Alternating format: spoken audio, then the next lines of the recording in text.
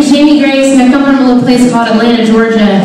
Um, my dad's a pastor there, and our youth group went to Winter Jam in 2005 or 4 or something. We went a lot, but my favorite one was that year because ZOEgirl was there. And I remember the super awesome moment when they said, do we have any singers out there? And I was like, oh my gosh, I get to go on stage. This is my moment. And really, they were just teaching the audience a moment in the song. But who would have known that years later I'd be on the stage with